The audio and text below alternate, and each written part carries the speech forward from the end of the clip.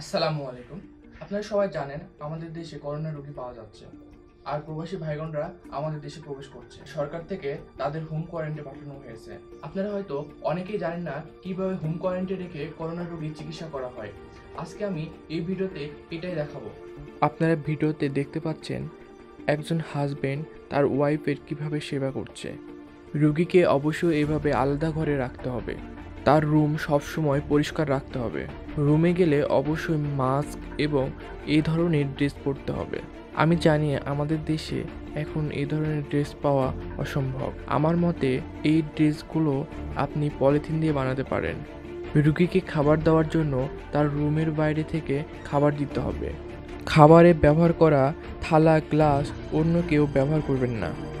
এছাড়া আমরা দূর থেকে ভিডিও কল করে তাদের খোঁজ নিতে পারি। আপনারা জানেন, সরকার থেকে সব শিক্ষা প্রতিষ্ঠান বন্ধ করা হয়েছে। তাই স্টুডেন্ট বন্ধুদের কাছে আমার একটি অনুরোধ থাকবে, আপনারা প্লিজ প্লিজ প্লিজ বাইরে বের থাকবেন। আর যদি ভিডিওটা ভালো লেগে থাকে প্লিজ প্লিজ প্লিজ শেয়ার করে সবাইকে সচেতন করবেন।